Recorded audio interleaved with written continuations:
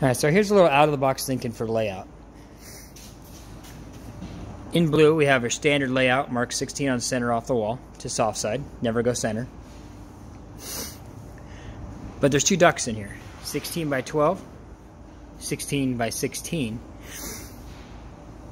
And you can indicate it by the red marks, where my layout currently is, with regular layout studs in between. Now I could run a regular layout and put headers in between and just do a lot of extra work. Or I just change my layout to match the ductwork. And because it's 16, I don't need headers. Now I also was instructed to leave space for a lift to get through because we need access to this room.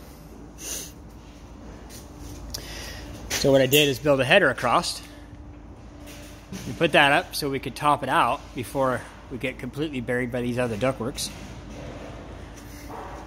You never want to leave track on the ground. People will run it over and mess it all up. So I put the slider stud here with a couple ears on it. and made this. Flap up. I'll screw that. These are the two studs that go in here later.